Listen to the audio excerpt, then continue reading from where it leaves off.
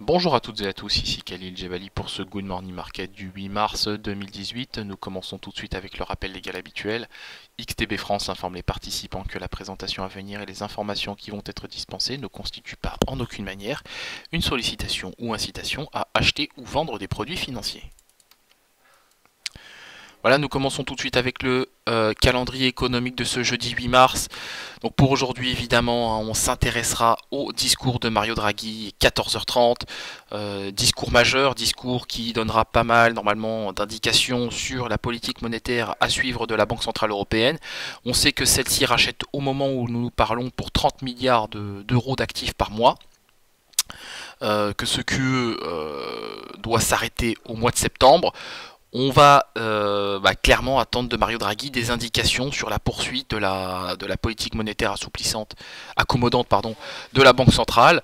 Euh, donc effectivement, discours majeur, et on voit clairement qu'au moment où je vous parle, bah, les, indices évoluent en territoire haussier, euh, qu'il y a beaucoup d'attentes euh, autour bah, de cet événement. On a un CAC 40 qui évolue en léger territoire négatif, des futurs américains qui évoluent, on va dire, à l'équilibre, donc pas de grande tendance qui se, qui se sur les indices. On attaque tout de suite avec l'analyse de la paire euro-dollar. L'actif est porté par les moyennes mobiles à 25 et 100 périodes d'un point de vue technique. C'est plutôt positif tant qu'on est porté par la moyenne mobile à 25 périodes sur le niveau des 1,24, 0,5 ou 1,24. Eh bien, c'est positif et on aura des catalyseurs pour aller chercher le niveau des 1,24,30. Dans le cas contraire, on sera susceptible d'aller chercher le niveau des 1,23,90. Euh, je n'opterai que pour des trades en scalping euh, jusqu'à 14h30. Euh, à 14h30, je ne serai, j'éviterai hein, d'être d'être exposé à la paire euro-dollar et au gold euh, en raison du discours de Mario Draghi et ensuite pourquoi pas après le discours de Mario Draghi se, reprojeter sur l'actif puisque bah, la tempête sera sera passée hein, tout simplement. Donc pour aujourd'hui, j'aurai un léger billet, j'ai un un léger biais acheteur sur le sur en direction des 24-30, mais l'idée c'est de ne effectivement pas être exposé, enfin d'éviter les expositions pendant le discours de, de Mario Draghi. Nous passons au DAX 30. Le DAX 30, lui, évolue bien en tendance haussière. On est porté par deux moyennes mobiles à 25 et 100 périodes, il n'y a rien à dire. On a comblé le gap baissier formé hier, donc ça, vous l'avez retrouvé sans doute au travers des signaux postés sur le site XTV. Pour aujourd'hui, j'aurai un biais acheteur sur le DAX 30. Je pense qu'on a tous les catalyseurs pour aller chercher le niveau des 12 270, voire même 12 280. Euh, pour la suite, j'attendrai le discours de Mario Draghi avant de me, euh, projeter davantage sur le, sur, le, sur le DAX 30. Mais d'un point de vue technique, on a quand même un contexte euh, assez favorable. Assez favorable. Donc pour tout vous dire, je suis même tenté de, parler des, des 12 300 points mais euh, je pense que c'est d'aller un peu vite en besogne, de tout de suite se projeter sur le niveau des, 12 300.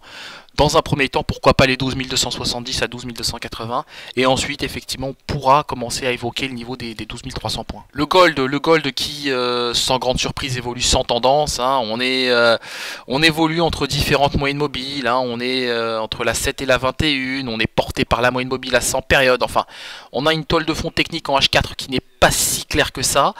Euh, pour ma part, j'ai un biais neutre sur le gold. J'ai un biais neutre, euh, j'opterai que pour des trades en scalping jusqu'à 14h30. À 14h30, au même titre que l'euro-dollar, j'aurai un biais totalement neutre. J'éviterai même d'être exposé à cet actif. Et pourquoi pas effectivement reprendre des trades hein, après 14h30, une fois que la tempête Draghi sera passée sur les marchés. Du côté du pétrole, donc sur le contrat WTI, vous l'avez vu hier, on a pris connaissance de, bah, l'augmentation des stocks de pétrole. C'est pas une grande surprise, hein, on, s'y attendait un peu. 2,4 millions de barils en plus aux États-Unis. Donc on continue de gagner du terrain hein, euh, du côté des stocks de brut. Par contre, on voit bien que les stocks d'essence et de produits distillés, eux, diminuent. Alors de pas grand chose, mais diminuent quand même. Moins 788 000 barils pour euh, les stocks d'essence et 500, moins 559 000 pour les stocks de, produits distillés, donc c'est bien. Bon, il y a de la consommation, mais on s'attendait quand même à de bien, euh, bah, de bien meilleurs chiffres, hein, dans le sens où on s'attendait à une contraction des stocks d'essence de, de l'ordre de 1,2 million. Bon, vous voyez qu'on est quand même assez loin de, de ce qui était anticipé par le consensus.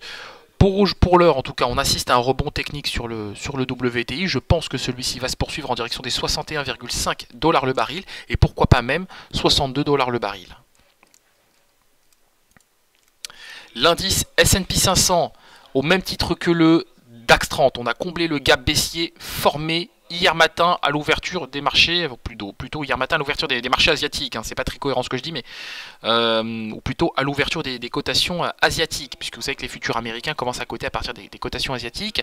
Donc, gap baissier comblé désormais, c'est désormais chose faite, donc 2720 points, c'est le niveau qui était anticipé hier au travers d'un signal euh, de trading sur l'indice S&P 500. Alors pour ma part, je suis pas allé jusqu'au bout, hein, j'expliquerai ça pourquoi en, en, séance de, live trading à 15h15.